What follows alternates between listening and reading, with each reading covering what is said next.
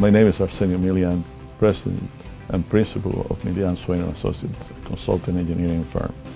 Civil engineer and environmental engineer, which is a very rewarding profession to get into. I was one of the original members of Miami-Dade. At the time, it was Miami-Dade Junior College, and my experience at Miami-Dade College was always excellent. The professors I worked with, I still remember their names, and I remember how they mentored and helped me. I founded Citizens for a Better South Florida. Citizens for a Better South Florida is a non-profit organization that actually provides environmental education to underserved community. My source of inspiration is my faith and my family.